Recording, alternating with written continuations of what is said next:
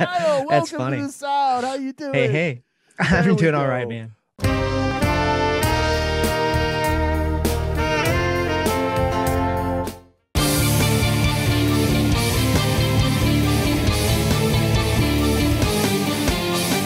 I am happy to report that I am on a new audio interface, everyone. Yes. So we're going to have a quick little gear talk. Gear talk. Gear talk.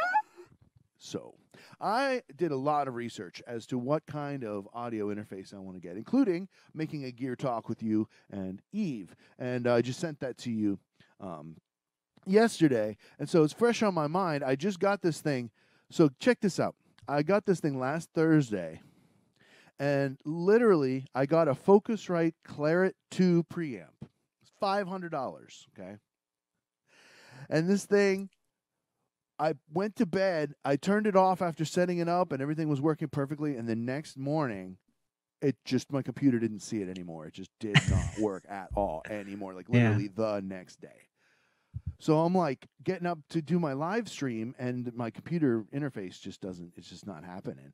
And I like I just bought this yesterday for 500 bucks. I tested it. I did a test live stream. It was perfect. What's going on? So I took it back to Guitar Center, and the, the really the, the moral of the story is hallelujah for stores, because if we end up where the only way you can get an audio interface is by the, the internet or something, and Yeah. you have to like send it back and like pay extra shipping and wait for the replacement, and they gotta like process your order, and it takes six weeks. Or I mean, seriously, I was thank goodness for the store. I took my receipt in, I took my computer, I said, "Yo, this isn't working."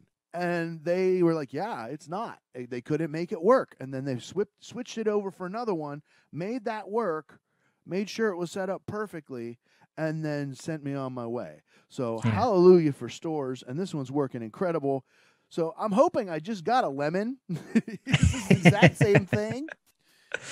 But if something's gonna fail, you want it to fail like right away when you can still return it and get another one, right? So Yeah. thank goodness they had another one in the store. If you know, I didn't have to wait for them to even like send one from another store. Luckily, they had another one on the shelf, and it sounds great, doesn't it? I think it sounds great.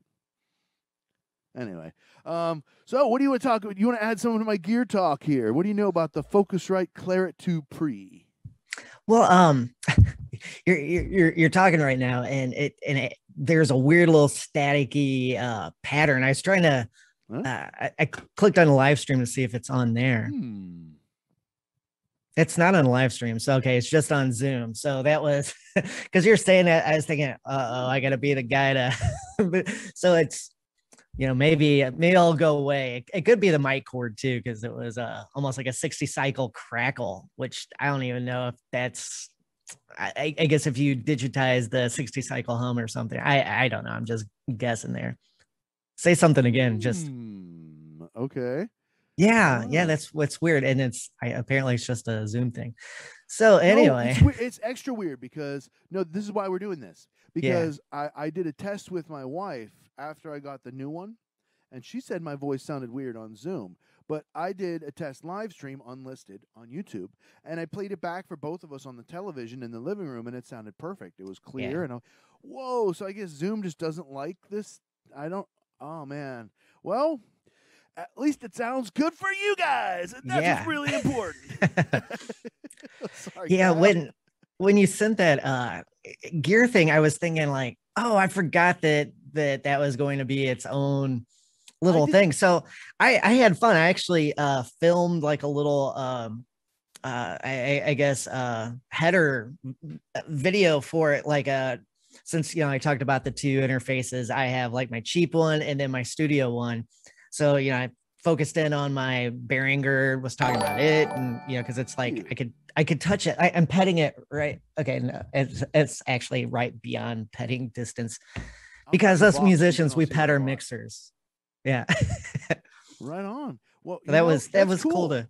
Yeah, it was fun to you know have a like a different train of thought, of thought you know, Mhm. for uh, gear and streaming and whatnot. So Well, I didn't know when I did that that we were going to make a video out of it per se, but it was more like yesterday I was editing and I made the intro, and then we did the gear talk before we even started the first React. And so I was like, hey, this could be its own video. Why not? And like, we won't have Yeah. any monetization issues on it because, you know, there's no copyrighted material in it. So we were just like talking about stuff. So like, hey, that's a pretty cool video idea. And then, you know, then Yeah. Kyle can make his own thing on it and Eve can make put her own spin on it.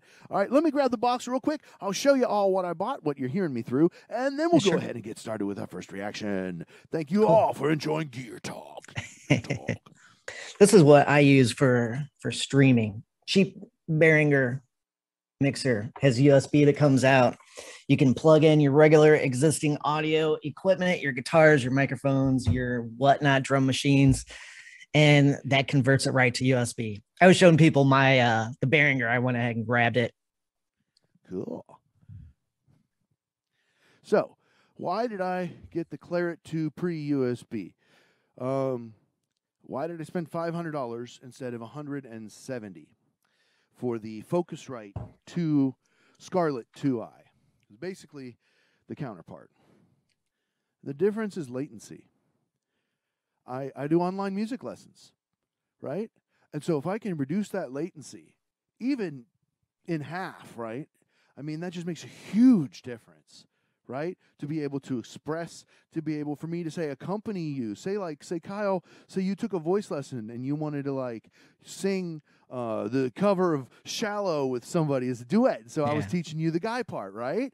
Wouldn't you want my guitar accompaniment to be like on time with your singing, right? Instead of, like- it's kind yeah, of instead really of a horse gallop. Yeah. Right. So that's that's the reason why I decided to spend the money here. And um, guys, uh, I really, really, really would appreciate you all if you would go ahead and support the studio. Uh, I got four ways you can support me. In addition to so instant support, right now you could do uh, super chat. Just click the little dollar sign next to the chat button, um, and you can send money right now to the studio to help to reimburse for this uh, expensive equipment I just got. You can also go to Patreon. I got weekly bonus videos every single week. There's a upload on Patreon. I just put out a reaction to Elite Batas leaving on a jet plane, John Denver. You can only see that if you pay a dollar a month on Patreon. Guys, I need to get some income coming for the studio. Patreon.com slash Matthews Music Lesson Studio. The nonprofit way to support is weekly. Liberapay.com slash Matthews Music. I get the most money there. Please send me whatever. Even a dollar a week would be incredible. You can buy me a coffee at buymeacoffee.com and get stoked. Get stoked. Yeah, I got my stoke. Kopi Mana Kopi to all my leapers here. Uh, and that's buymeacoffee.com slash Matthews Music. And finally, send me a tip on Venmo at Matthews Music. Okay, that's enough of all this promotional stuff. Thank you all for enjoying Gear Talk.